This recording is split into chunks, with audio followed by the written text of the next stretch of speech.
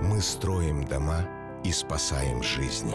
Мы проектируем корабли и защищаем Родину.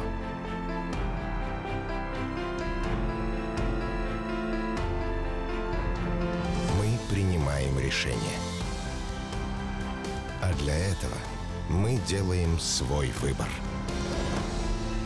18 марта Выборы президента Российской Федерации.